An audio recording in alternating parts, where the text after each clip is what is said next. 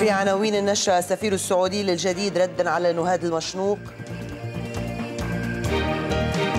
نرفض أن تكون المملكة شماعة لمن أراد ان ان أن يلومها على على شيء ربما لم يوفق في إنجازه في بلده.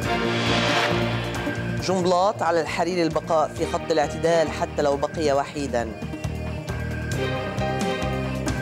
وما يوقع تحت وطأة الانشقاقات والمزايدات التي تريد قد تريد أن تجر مجددا إلى كلام متشنج تجاه حزب الله وعرضا تجاه الشيعة روني عريجي للجديد أنا برأيي عم بحمل انتخابات البلدية بطرابلس أكثر ما بتحمل من من رسائل ومن مضامين. بالصور حادث سحلة ثلاثة قتلى وخمسة جرحى. ستيني يقتل والدته بالسكين وسوري يقتل عنصرا في حزب الله في سقاق البلاط.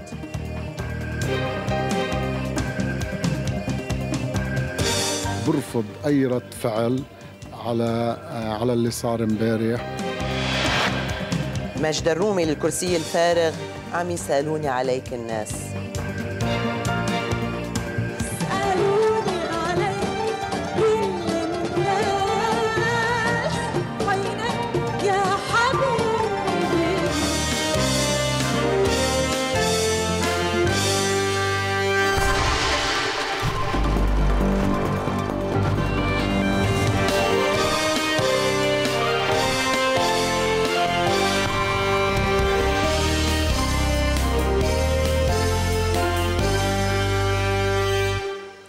من قناة الجديد في بيروت. أهلا بكم إلى نشرة إخبارية. تداعيات عاصفة المشنوق ومرحلة ما بعد الانتخابات في طرابلس استدعت مواقف هذا المساء من السفير السعودي والنائب وليد جنبلاط الذي قرأ في طالع تمرد أشرف ريفي وحيا خارجيا المطلوب أن تعود معه طرابلس. ساحة صراع ساخنة قد يدفع ثمنها سليمان فرنجي والدخول بمرشح جديد. وإذ أعلن جنبلاط أنه يقبل بقرار المصالحة المسيحية قال إنه إذا كان خلاص لبنان بمشال عون فشو المشكل؟ جنبلاط دعا الحريري إلى البقاء في خط الاعتدال وعدم الذهاب إلى التشنج مع حزب الله والشيعة حتى ولم لو ولو لم يبقى بقربه أحد. فإذا انطلق الحريري إلى الخطاب الطائفي فما الذي يميزه عن المشنوق وريفي؟ وقد رد زعيم المستقبل على تويتر قائلا إن خط الاعتدال ليس موقفا أخذناه بل فعل قمنا به والحسرة على من يقاتل في سوريا واليمن. والحريري وصلته براءة الجهة السعودية نأت به عن مواقف وزير الداخلية مؤخرا وقال السفير علي عواض العسيري للجديد أن لا علاقة للحريري ولا لأي لبناني ويحب بلده حيال ما صرح به وزير الداخلية. ورفض العسيري أن تكون المملكة شماعة لمن لم يوق أو يوفق بإنجاز شيء في بلدي وأضاف أن الغضب السعودي سوف يستمر لأن ما حدث ليس بسيطاً. اولا دعني يعني يكرر استغرابي لمثل هذا التصرف الذي الواقع لا داعي له. أنه أنا وصلني تأكيدات أنه هذا لا علاقة له لا في دولة الرئيس سعد الحريري ولا في تيار المستقبل ولا في أي لبناني بيحب بلده قبل يحب المملكة. لا, لا نرغب بل نرفض أن تكون المملكة شماعة لمن أراد أن أن أن يلومها على على شيء ربما لم يوفق في إنجازه في بلده. هناك فعل سيغضب المحب للمملكة من لبنان قبل أن يغضب أي سعودي وبالتالي ما صدر في عكاظ هي ردة فعل على فعل. وأنا واثق إنه يعني الغضب سيستمر لأنه ما حدث ما هو بسيط صراحة في حق المملكة العربية السعودية وفي حق الملك عبد الله الله يرحمه وفي حق من من من يبذل جهد لمساعدة هذا البلد. فبالتالي الاستغراب يعني هو هو والموقف الرسمي صدر مني في بيان. أما الصحف السعودية فستعبر عن عن رأيها في شيء لمس بلدها ولمس قياداتها السابقة. النائب وليد جنبلاط علق بدوره على كلام المشنوق فكلامه على انتقاد الحكم القديم. قائلا هلا وقت نحاسب الملك عبد الله ورقة جنبلاط أن التكلفة الاقتصادية مع العقوبات تقتضي بوجود رئيس تسوية بأي ثمن؟ داعيا الحريري إلى أن يكون زعيم الشارع والاعتدال. اوعى بده ما يوقع تحت وطئة آه هذه ما يسمى الانشقاقات. الانشقاقات والمزايدات التي تريد قد تريد أن تجر مجددا إلى كلام متشنج تجاه حزب الله وعرضا تجاه الشيعة. أنا بنصحه شيء حتى لو ما بقي حد منه حدا. okay؟ ماشي الحال.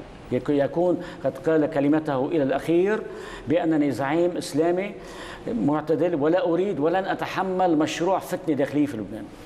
عم بتقول كلام كثير مهم. يعني عم بتقول له لسعد الحريري ما ترجع تروح على الخطاب السابق نعم. حتى لو بقيت وحدك بس نعم. هذا له كلفته.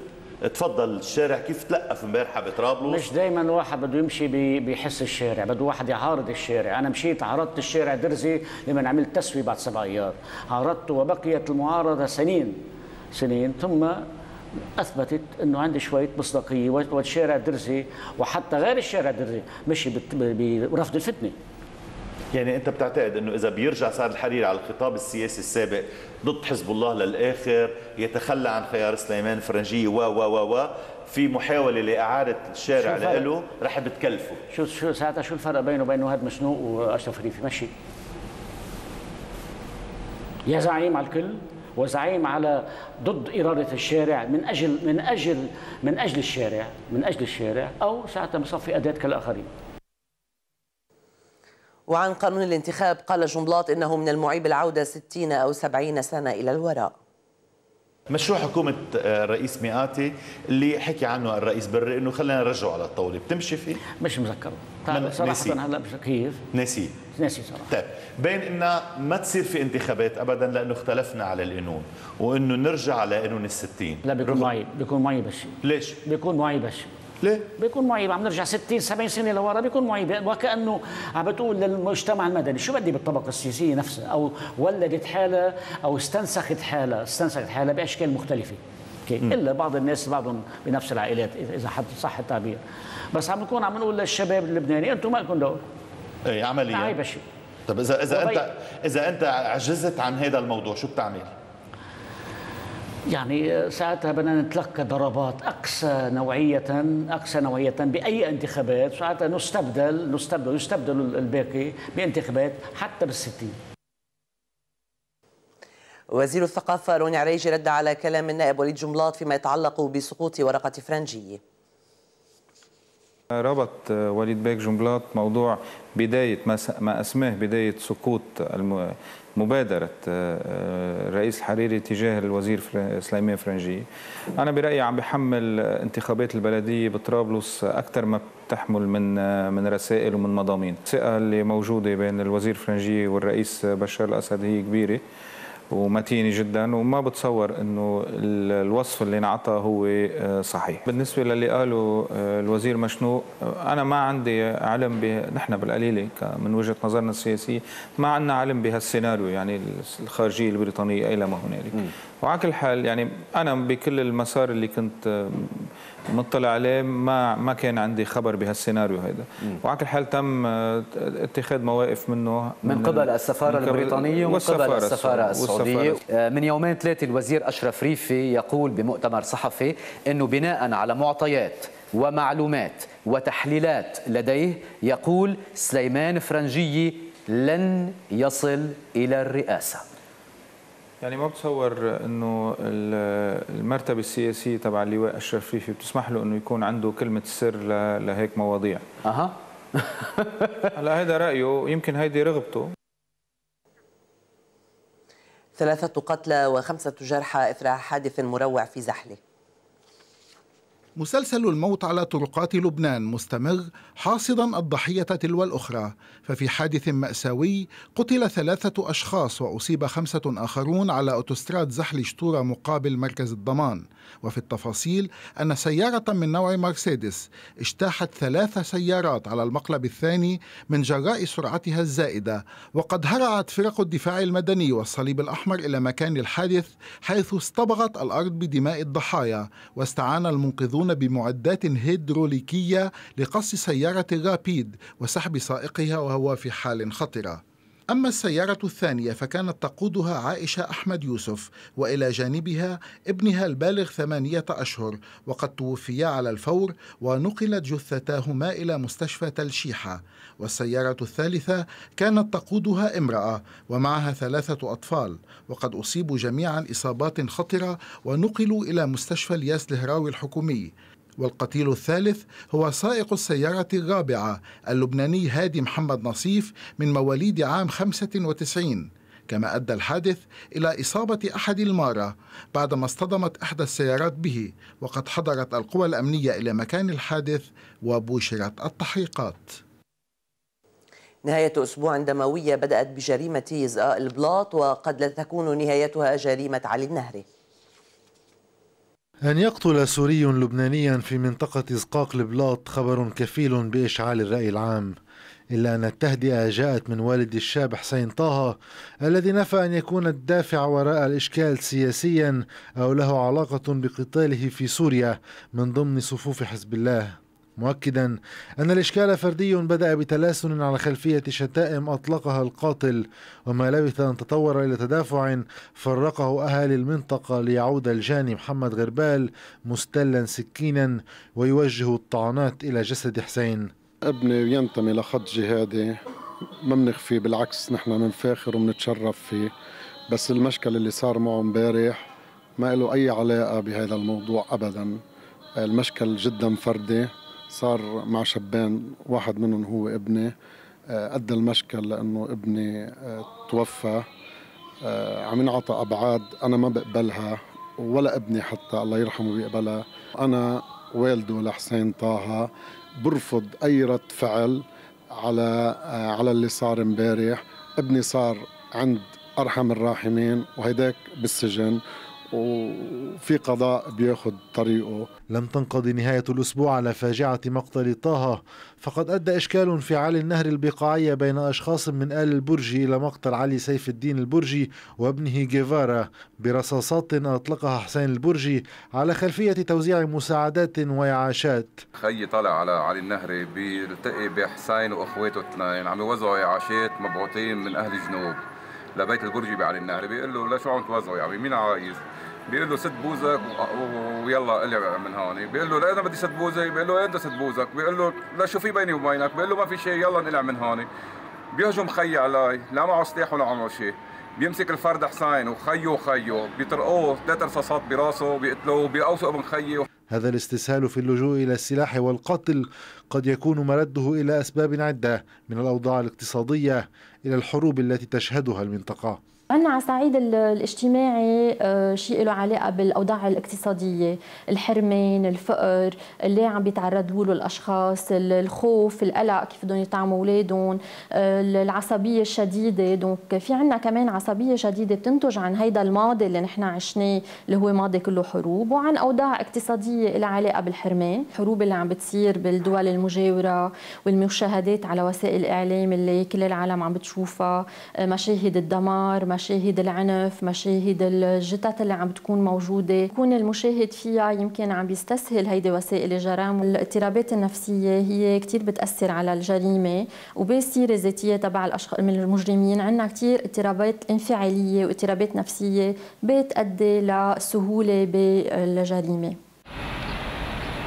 الأسباب النفسية كان لها الدور الأبرز في جريمة ثالثة وقعت في الحازمية حيث أقدم إبراهيم الراسي البالغ 64 عاما والمرجح أنه مصاب بأمراض نفسية حادة على قتل والدته طعنا بالسكاكين. حالة حرجة في بريتال نتيجة الرصاص الطائش وكشافة المهدي تسجل اعتصاما. الرصاص الطائش وصل إلى بلدة بريتال البقاعية إذ أصيب السوري يوسف أحمد الأسود برصاصة في رأسه أطلقت ابتهاجا في أحد الأعراس. وفيما الأسود يصارع الموت في المستشفى اعتصمت جمعية كشافة الإمام المهدي على مرجة رأس العين في بعلبك. وقفة طفولية بريئة تنادي بضبط السلاح المتفلت ومنع الرصاص الطائش. نحن جايين نقف هان عشان في ناس عم بيموتوا من رصاص الطايش. كثير من الناس بينبسطوا وبيفرحوا من شيء حلو صار معهم. وبتكبر الفرحة بتصير تزيد شوي شوي. وبصير لازم نفرجي العالم كله قديش نحن مبسوطين. ساعتها بدنا نقوس ونطلع الرصاص. وبعد شوي بنسمع صوت الإسعاف. إيه ما تستغربوا صوت الإسعاف. لأنه هيدي الفرحة زرعت الغصه بمطرح تاني. خطفت روح بريئة. يمكن تكون قوست الطفل صغير ما فهم بعد معنى الحياة. يمكن تكون أنت أو ابنك أو حدا غالي عليك ضحية بكرة. ليش ما بنوقف سيل الدم والضحايا والشغل بإيدنا؟ الشغله بدها شوية تروق شوية تعقل شوية إنسانية شوية رحمة. كفاكم ترويعا كفاكم تخويفا كفاكم تسببا بأمراض وحالات نفسية.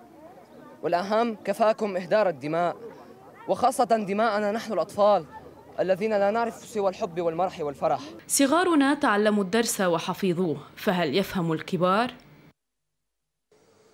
تحطيم مكتب سعد الحريري في الرياض من قبل موظفي شركته سعودي أوجي الذين اعتصموا أربع ساعات للمطالبة بدفع رواتبهم المتراكمة منذ ثمانية أشهر للمرة الثانية خلال أسبوع واحد قام موظفو شركة سعودي أوجي في السعودية بالاعتصام في وجه الشركة المملوكة من رئيس الحكومة السابق سعد الحريري. غير أن هذا الاعتصام حصل في مركز الشركة الأساس في الرياض حيث مكتب الحريري هذه المرة. أما خلفية التحرك فهو عدم دفع رواتبهم للشهر الثامن على التوالي مرددين أن سبب التصعيد هو بدء شهر رمضان من دون أن يتلقوا أي جزء من رواتبهم المستحقة. المتظاهرون الذين قدروا بالمئات وتحت أعين القوى الأمنية السعودية اقتحموا مبنى سعودي أوجي وتوجهوا إلى مكتب سعد الحريري وقاموا بتحطيمه إضافة إلى مكاتب أخرى من دون أن تنتهي أعمال الشغب إلا بتدخل من رجال الشرطة. آه، إجا رمضان وما في رواتب نهائيا. آه، الناس دمرت على الآخر. آه، مدراء الشركة هربانين. ما حدا عم يسمع ولا حدا عم يرد على على الموظفين نهائيا. عم نتصل بفريد شاكر ما بيرد نهائيا. إن كان نحن ولا إن كان حدا من السلطات السعودية عم يتصلوا فيه بس ما عم يرد هربان. سحبوا مدير آه، منطقة آه، على اسم الشرطة كرمال إنه يحققوا معه كرمال ظلم الناس اللي عم عم يكون موجود بين بين الموظفين ما يعني مدير عام الشركة ما رد نهائيا. كان الساعة 6 الصبح مسحوب من الشرطة ولا حدا عم يرد عليه نهائيا. أنا بطلب إنه آه، ما حدا يهني بشهر رمضان من العائله المالكي للشركة لأنه آه، بصراحة آه، خربوا بيوت عالم كثيرة. وعلى خلفية تطور الإشكالات وصل خبر للعاملين المعتصمين من قبل الحريري يؤكد لهم أنه في الأيام القليلة المقبلة سيؤمن لهم مبلغا من مستحقاتهم من دون معرفة تفاصيل إضافية حول قيمة المبلغ وكيفية صرفه. دمنا بيجمعنا حملة تبرع عامة في وسط بيروت تقرير ليال سعد.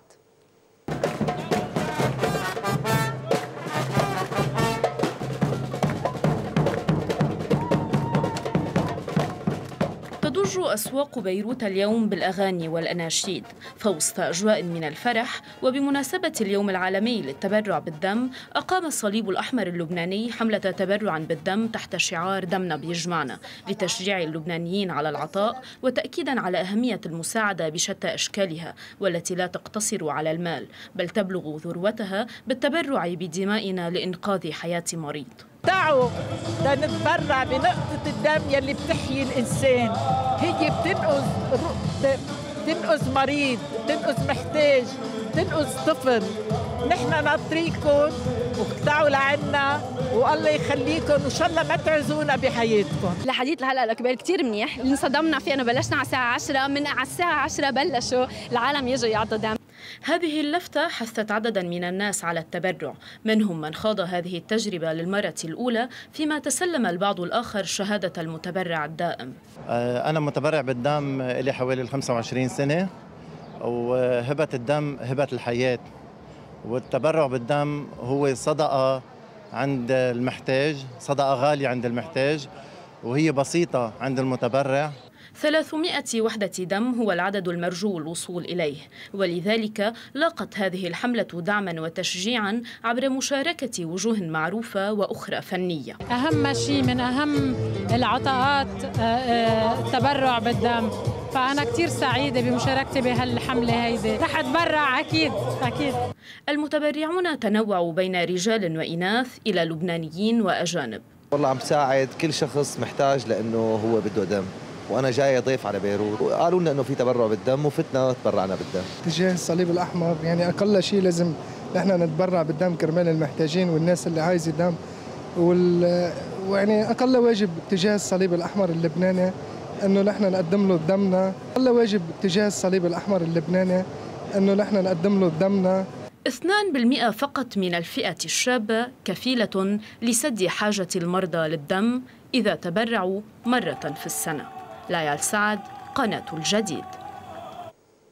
فضيحة نفايات طبية في مكب عشوائي على أطراف بلدة شقرة الجنوبية فتح بعلم البلدية التي كانت متقاعسة. تحقيق من جزئين للزميل هادي الأمين.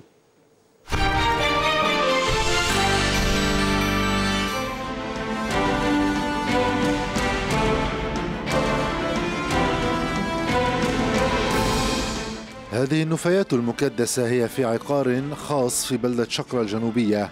يجري استعماله منذ سنوات مكبا عشوائيا من دون حسيب ولا رقيب. هالمشهد بيأكد مدى تواطؤ بلدية شقرة مع اتحاد البلديات بهذا المستوى من الممارسات بأنه فرد على فاتح على حسابه بينقل نفايات من معظم قرى منطقة بنت جبال. البلدية عم تهمل هذا الموضوع. ما بعرف شو الأسباب اللي وراء هذه المسألة. يعني اتحاد البلديات مفترض أنه يأمن لمنطقة بنت جبال مكب صحي. الفضيحة الأكبر عدا وجود هذا الكم الهائل من النفايات هي احتواؤها على نفايات طبية. والمسؤولية تقع على شقيق شرطي البلدية المدعو وسام نصار الذي استعمل عقارا للمختار السابق حسن سلمان. أساس القصة من شي خمس سنين اجى هذا اسمه وسام وسام وسام عفيف نصار. قال لي بدي هيك مسرح صغير بس اعرف فيها الألمنيوم لحال الحديد لحال تنك في تهديد للسلامة العامة وبنفس الوقت إنه هذه النفايات بتضم فضلات آه، مستشفيات. يعني في سرنكات في أدوية في في علب أدوية بعض الحبوب بقلبها. البيئة ملوثة وهذا الإنسان صار محكي أكثر من مرة. مطلوب إنه البلدية تعالج هذا الموضوع ولكن ما في علاج. شو كان ردهم البلدية؟ قال إن شاء الله خير. لكن قبل منها صار في حكي بهذا الموضوع ولكن لا حياة لمن تنادي قبل أخذ موقف البلدية السابقة والحالية إضافة لرأي صاحب العقار لابد من التطرق إلى وجود معمل للفرز في البلدة. كان قد افتتح وجرى تشغيله قبل أكثر من عشر سنوات إلا أنه تحول إلى مكب عشوائي تحرق فيه النفايات. كان عم تشتغل يعني بيشتغل هذا المعمل بالفرز وب تدوير النفايات لحد إنه سماد وترب إلى ما هنالك. وكان في مردود يعني بإنتاجيته لصندوق البلدية. قبل ما يجي هذا التحالف كان في صراع بين حركة أمل وبين حزب الله. فلما نستلم حزب الله فعلا همل المعمل. مرت على البلدية ولايتان والمعمل على حاله من دون محاولة لإعادة تشغيله. كما وجرى افتتاح هذا المكب العشوائي في عهد البلدية السابقة. غدا مرد رئيس البلدية السابق وما تعليق المختار حسن سلمان صاحب العقار. هونك تبين انه لا في نفايات اللي عم تنكب آه، كبيرة. جمهور كرة القدم حسم الموقف نهائيا والنجمة حسم موقع كأس لبنان مع العهد محرزا اللقب السادس في تاريخ المسابقة. خالد التكجي بابتسامة هي فيها كل الثقة بعتقد خالد التكجي بيتقدم خالد بيسدد خالد التكجي جول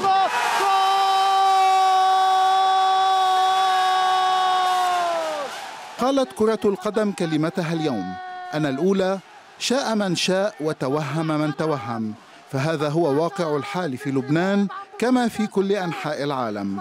في ملعب برج حمود البلدي احتشد نحو عشرة ألاف متفرج لمتابعة نهائي كأس لبنان مشجعين للنجمة بلونها النبيذي أو هاتفين للعهد بلونه الأصفر. هي كرة القدم معشوقة الجماهير وحبهم الأول. موسم رائع. صار بعد الإشكال ماشي الحال. نطلب القوى الأمن. نزل بعض عناصر الاحتلال تقدر نقدر نتفادى هالمشكل اللي ممكن يصير. نحن مستمرين بدعم الفوتبول. الفوتبول أحسن ورح يكون أحسن من سنة لسنة. هيدي هي اللعبة الأولى بلبنان هيدي هي اللعبة الجماهيرية الأولى بلبنان مش شيء ثاني هيدي هي اللعبة. أكيد أكيد رح يعطي دفع. ألف مبروك للنجمة. وجهنا كان خير عليهم هذا هذا الموسم. قمة بكل المقاييس بين فريقين بات لقاؤهما مثار نقاش وجدل وحماس منقطع النظير وكلاهما خرج من دور ألف خالي الوفاض لمصلحة الصفاء فكان كأس لبنان بمثابة التعويض الأخير. ولكن قبل الخوض في النتيجة سجلت القوى الأمنية مرة أخرى خللا في التعاطي مع إدارة المباريات الرياضية. إذ أن إقفال المنافذ أمام الجمهور سواء كان فرحا أو غاضبا هو الأولى من ضربه وإهانته بعد دخوله إلى أرض الميدان. المهم في هذه الحالة هو الرد على سؤال مركزي كيف دخل كل هذا الجمهور إلى الملعب؟ وهل من واجب أحمد تكتوك وأحمد زريق ضبط الأمن وتهدئة المشجعين؟ وأين كان الأمن في هذا الوقت؟ ولماذا استفاق متأخراً؟ فنيا تبادل النجم والعهد أدوار اللقاء المثير الذي حفل بكل شيء من الفرص والفنون الفردية والجماعية وانتهى في وقته الأصلي بالتعادل ثم لجوء طاقم الحكام القبرصي إلى وقت إضافي شهد إثارة أكبر مع طرد لاعب العهد ممدو درامي حيدر اللاعب الشاب بيتقدم على الكرة بيسدد. أوه عم بيسدد التكتوك وللمزيد من الحماس وصلت المباراة إلى نهايتها السلبية فكان اللجوء إلى ركلات الترجيح حتميا ليهدر حسين حيدر الركلة ما قبل الأخيرة للعهد ويسجل خالد تكجي كرة الختام متوجا النجمة بطلا لكأس لبنان للمرة السادسة. بعد الإعلان حل دولي لعرب صليب.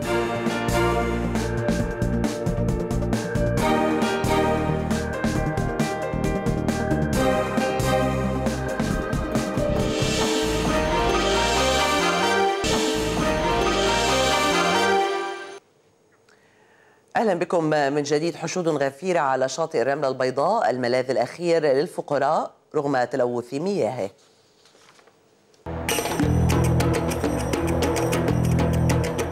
على شاطئ الرملة البيضاء البحر أمامك وفخامة الأبراج والمال خلفك. والفقير ذو الدخل المحدود عالق ما بينهما لا بل يسبح في مياه مجاريرهم التي تلتف عليه من كل حدب وصوب. البحر للأسف هو تاريخيا معروف أنه في آه، حاطين مجرورين عليه آه، واحد لميلة الشمال وواحد لميلة الجنوب. فهو فعليا كبحر هو بحر ملوث يعني يمكن بفترة ضئيلة بيكون فيها الهواء شرقي بياخد البحر لبرا بيصير مقبول ينسبح فيه. بس هو فعليا مش صحي ملوث. بهيدي الفترة شو؟ بهالفترة بيكون ملوث أكثر شيء لأنه الهواء غربي بيجيب ف... وما عملوا محطات تكرير ولا بمرة بفكروا فيها لأنه هذا الموضوع مش موضوع مطروح لا على صعيد سياسي ولا على صعيد بلدي ولا على صعيد إنمائي كما يقولون. هنا البحر والشمس والهواء ملك عام. وإلى هنا من كل الضواحي الفقيرة يأتون. مجانا يسبحون مجانا يلعبون على الرمال الحارة ومجانا يستمتعون مع عائلاتهم بشمس حزيران. أطفال يفترشون الشاطئ ويخوط على مرأى منهم تذكرهم بهوة الاختلاف الطبقي. ومع كل ذلك تبقى سيبانة رمضان على الرملة البيضاء لها طعمها الخاص وأجواؤها المميزة. شط الرمل البيضاء أول وسخ شوي أما من بعده لجوا لا نظيف أكيد هون ما بنحس بالاختلاف بتحسي كل الشعب زي مع بعض يعني مبسوطين وما بتحسي فرق يعني. شاطئ شعبي هو الوحيد اللي ببيروت المنفس لأهل بيروت يعني. هذا الشاطئ هو المنفس الوحيد صار للطبقة الشعبية إنه تيجي على البحر وهيك تنبسط. حبيتها كثير رمل البيضاء انه يعني حلوة وكثير مسلية. شو حبيتي أكثر شيء هون بأجواء؟ البحر. البحر بس. حبيت القعدة كثير على رمال شاطئ الرملة البيضاء لا مكان إلا للفرح.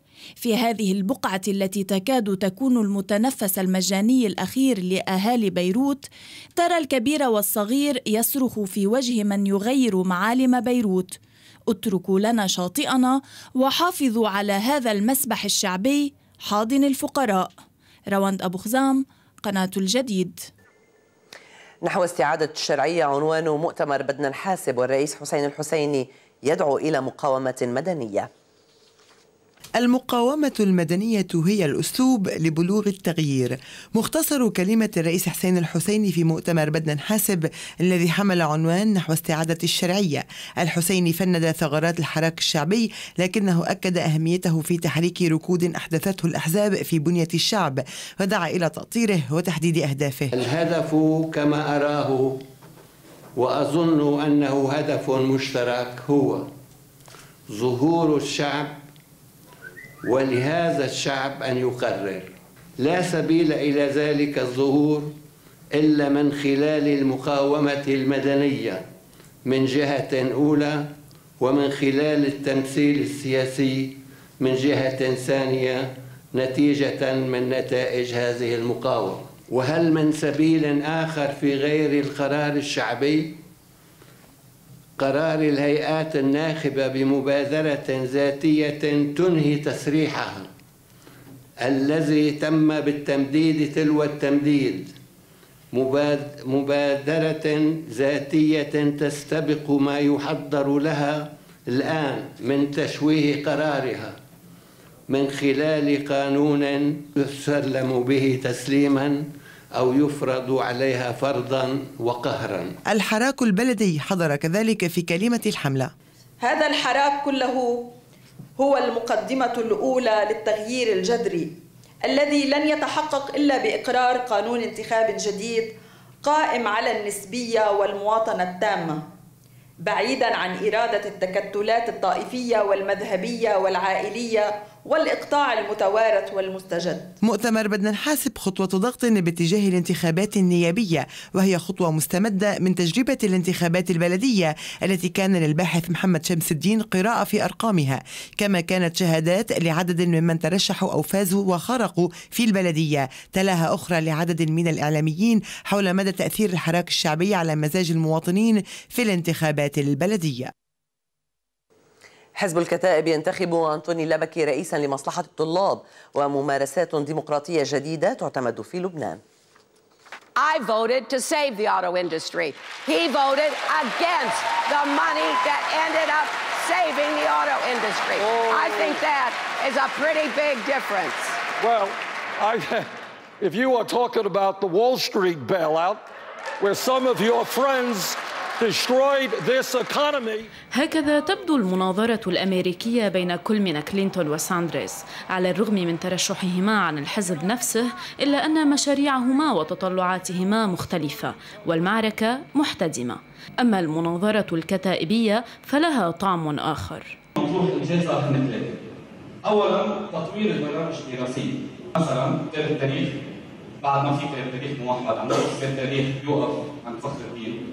مش مكتوب تاريخ حديث عن الحرب اللبنانية. 2016 مش مسموح نكون بعدنا عم ندرس بكتاب الوضع بظل الاحتلال السوري. مشاريع متشابهة تطلعات متطابقة ومعركة هادئة. طبعت المناظرة التي أتت تمهيدا لانتخابات رئيس مصلحة طلاب الكتائب وجرت في مركز الحزب في الصيف. مناظرة من دون شك تضفي جمالية على الساحة اللبنانية لجهة الممارسات الديمقراطية. عم نعمل عملية ديمقراطية مثل ما نكون شايفين ونسبة الاقتراع عم تكون كتير عالية لأنه الشباب اليوم المرشحين الأساسيين ترشحوا على أساس المشروع وليس الشعار وكل شاب من الشباب قدم مشروعه من خلال مناظرة عملناها بمصلحة الطلاب. إلا أن سؤالا أساسيا يطرح عن خلفيات هذه المناظرة وخصوصا عن سبب غياب مثيل لها في انتخابات رئاسة الحزب لتحضر على المستوى الأكاديمي. فهل الهدف منها تعزيز الديمقراطية أم أنها مادة ترويجية يستخدمها حزب الشيب لتدعيم صورة شبابية يجهد لتسويقها ليال سعد قناة الجديد. في عرب صليم الانتخابات البلدية لم تنتهي والخاسرون أولى بالمعروف. على الرغم من انتهاء الانتخابات البلدية في المحافظات اللبنانية كافة وإعلان نتائج الفائزين في السباق البلدي وعلى الرغم من إعلان السيد حسن نصر الله انتهائها وتقبل نتائجها وتجاوزها إلا أن ثمة من يرفض الاحتكام إلى صناديق الاقتراع.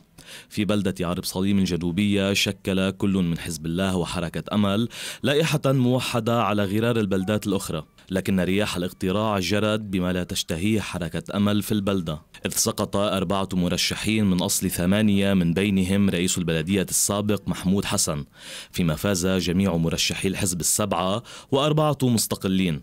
النتيجة المفاجئة دفعت بالخاسرين إلى المطالبة بإلغاء الانتخابات والضغط على الفائزين بالاستقالة والحجة ليست حصول تزوير أو تجاوزات بل فقط لأن أهالي البلدة لم يلتزموا بما أسقط عليهم. اللي صار عندنا والمعروف بأنه في اتفاق بين القوتين السياسيتين الأساسيات اللي هن حركة أمل وحزب الله وفي اتفاقية على أنه كيف بتكون التركيبة المجلس البلدي بالنسبة لعدد الأعضاء وتوازن القوى.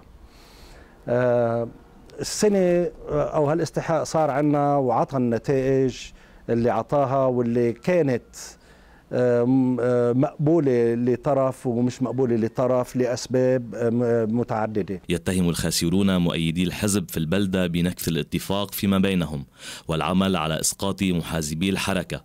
اتهام يلغي فكرة وجود مجتمع مدني في البلدة.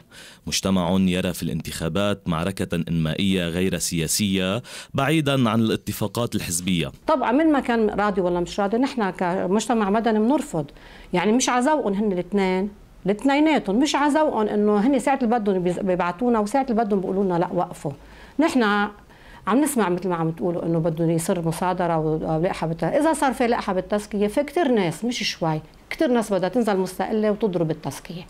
لأنه مش عزوقهم، إذا صار في لائحة إذا صار في انتخابات ما رضوا عنا إنه ساعة اللي بدكم روحوا وساعه اللي بدكم ارجعوا. هي المسألة مسألة مبدأ بأنه أنا مبدأ بأنه أنا اخترت لازم تحترم خياري. انتهت الانتخابات البلدية في لبنان ولم تنتهي في عرب صليم.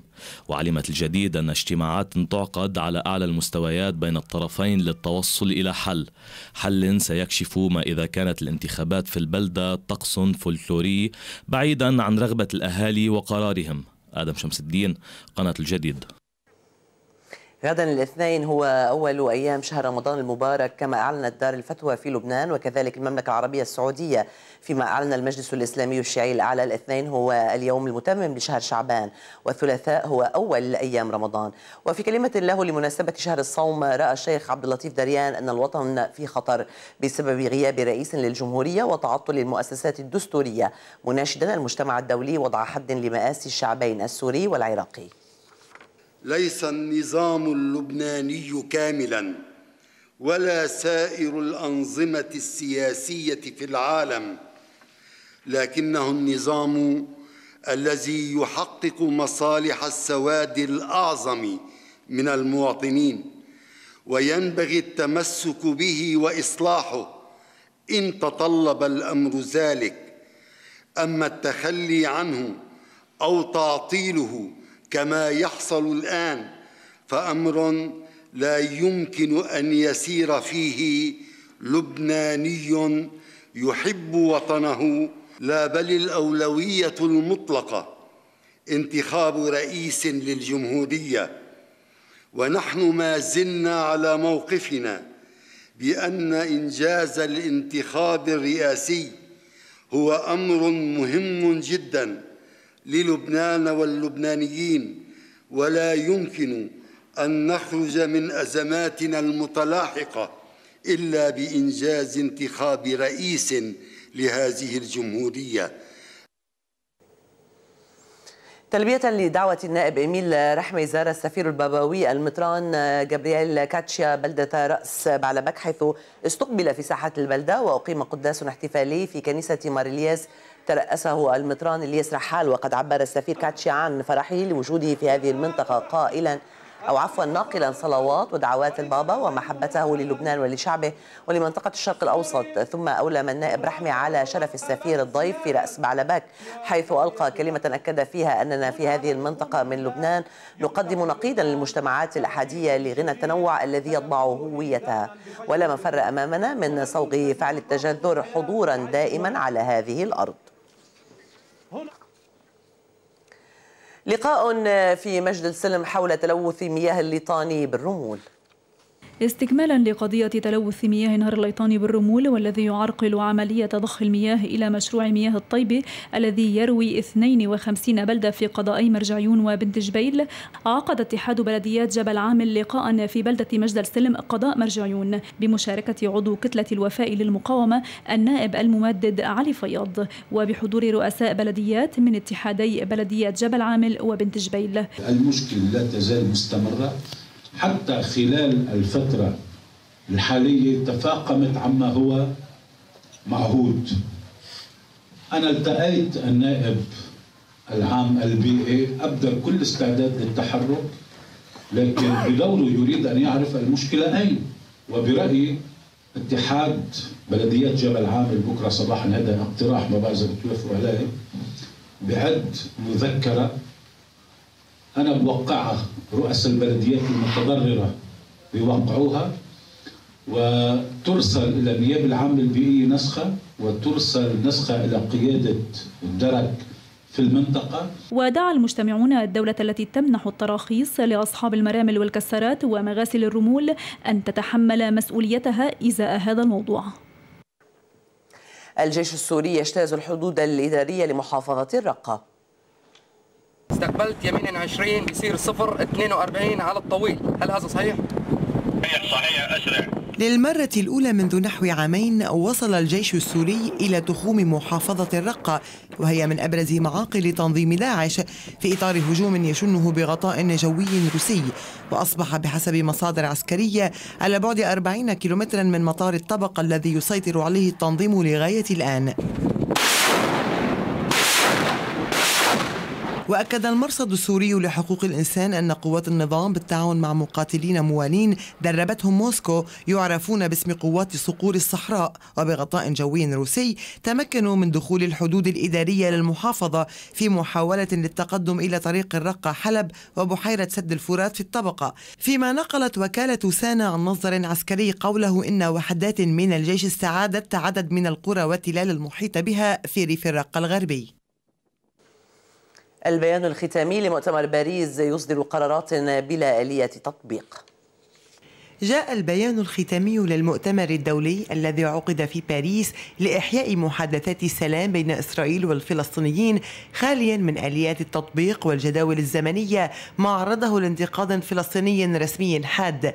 وحمل وزير الخارجية الفلسطيني رياض المالكي دولا لم يسمها مسؤولية ذلك. فيما طالبت عضو اللجنة التنظيمية لمنظمة التحرير الفلسطينية حنان عشراوي أن تستند المبادرة الفرنسية في مضمونها إلى مرجعية قانونية واضحة. وكان البيان الختامي للمؤتمر قال إن كل الدول المشاركة أكدت مجددا الحاجة إلى حل من خلال التفاوض لإقامة دولتين. ولفت إلى أن المفاوضات المباشرة بين الجانبين يجب أن ترتكز على قرارات مجلس الأمن الدولي القائمة.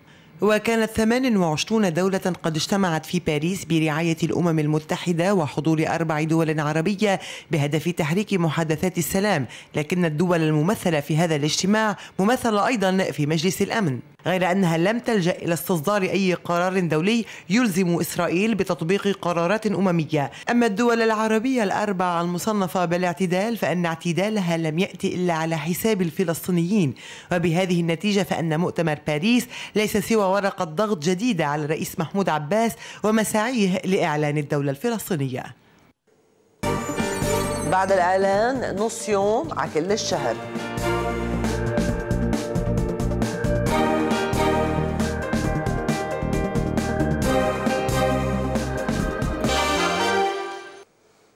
أهلا بكم من جديد. أما الآن فننتقل إلى فن الخبر مع الزميل شادي خليفه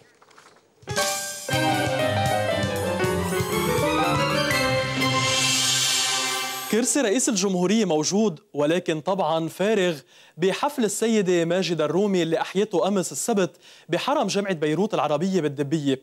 والرسالة طبعا واضحة بشأن الشغور الرئاسي المستمر. الحفل عاد ريعه لدعم صندوق مناح الطلاب وحضروا سياسيين ودبلوماسيين أبرزهم الرئيس فؤاد السنيورة. غمض عيني صور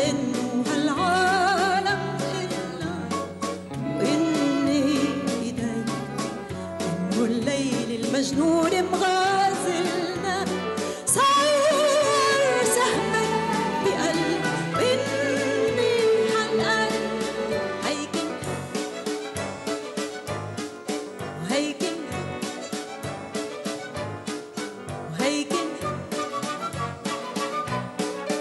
هالكرسي يلي عم نشوفها يلي عم توصلي من خلال الرسالة شو بتقولي من خلالها؟ بنقول إنه هالموضوع بالبال موضوع الرئاسة اللبنانيه موضوع بالبال ومش مش طويينه نحن إنه بضميرنا وبقلوبنا وبصلاتنا العميقة. والحفلة اليوم هي بصرح آه، سقافي كبير. وإن شاء الله يا ربي إنه آه، هالدور الفعال الكبير للبنان آه، ولا مرة بغيب. لأنه ساعتها بنكون فعلا انتهينا. هلأ طالما نحن بالدور الثقافي والفني بخير لبنان بخير لأنه الأرض بتنطرنا. حضرتك حاملة هالرسالة والسياسيين مش عم توصلهم الرسالة شو بتقولي لهم؟ مش مهم نحن كمان بنعمله للسما ولضمايرنا مش مش لحدا يسمع. يعني اللي بيسمع بيسمع اللي ما بيسمع له شغل مع الله مش مش معنا نحن.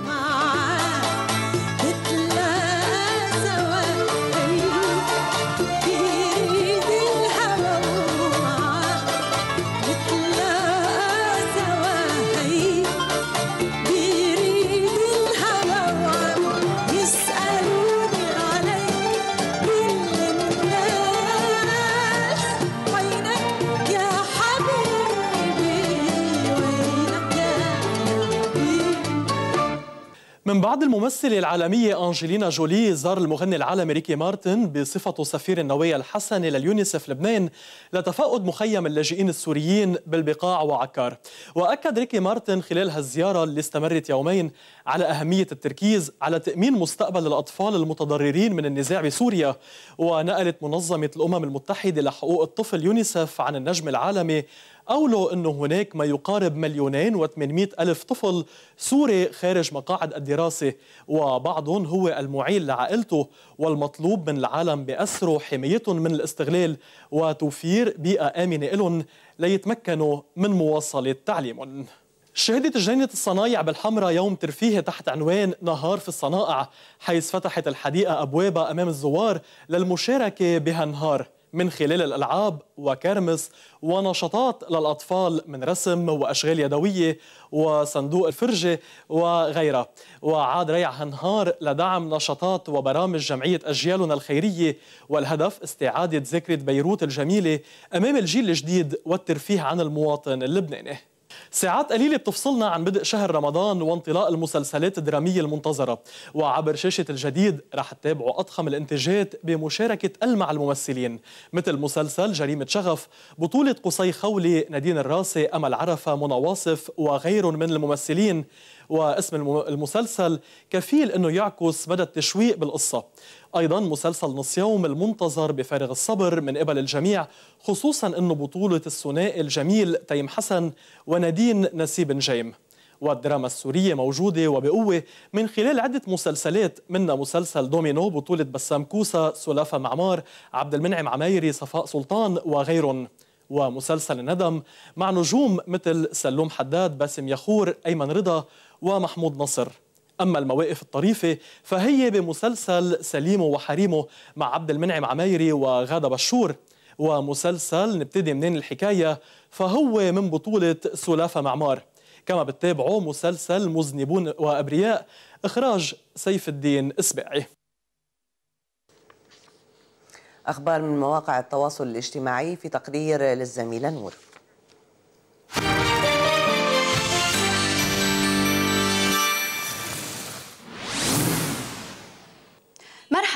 بداية ترندز لليوم مع فيسبوك والفيديو يلي حصل على مش بس نسبة عالية من المشاهدة ولكن أيضا من التعليقات يلي بتعبر عن غضب شديد وخيبة أمل. باحتفال طلاب مدرسة دار النور بمنطقة الكورة قام عدد من الطلاب بشراء سيسان تعذيبهم وقتلهم تعبيرا عن فرحهم بانتهاء السنة الدراسية. المحزن هو قدرة شباب الجيل الجديد على القتل والغريب هو سماح المدرسة بهالفعل. البنت يلي نشرت هالفيديو سكرت حسابها بعد هالحادثة. And let's share it. فيديو تداول على فيسبوك تصور بالسر للحكم بولس أيم وهو طالع من غرفة ملابس نادي الرياضي قبل دقائق من بداية المباراة. نشر هالفيديو على مواقع التواصل الاجتماعي باعتباره فاضح كون الحكم كان بالمكان الغلط وبالوقت الغلط. التعليقات السلبية على هالفيديو كانت من قبل مشجعي فريق الحكمة. منشوفه سوا.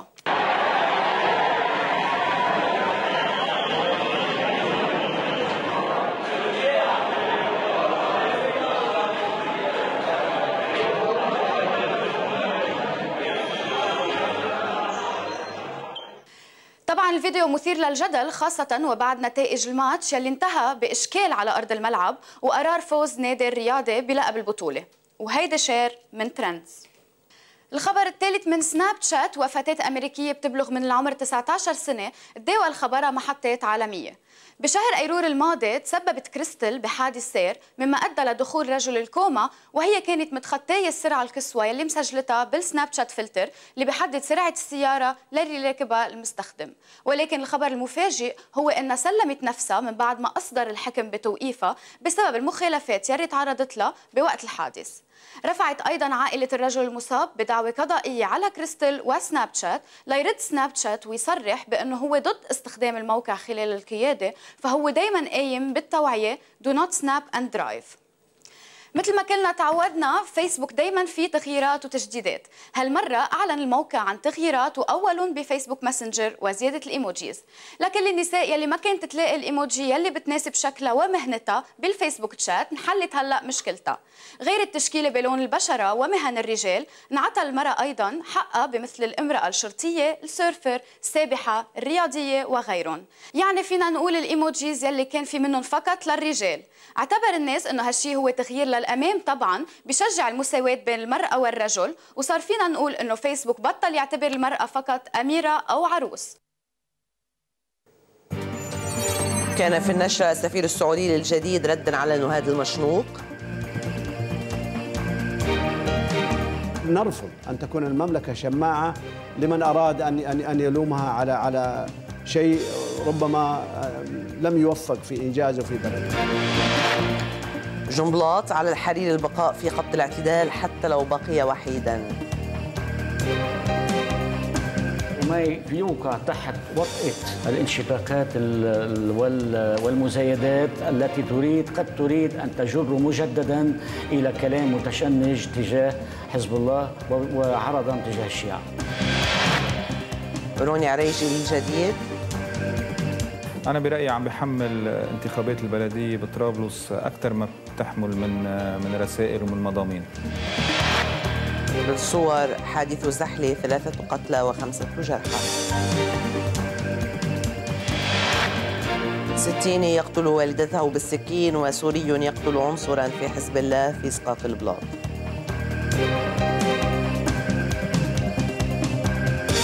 برفض أي رد فعل على على اللي صار امبارح مجد الرومي للكرسي الفارغ عم يسألوني عليك الناس.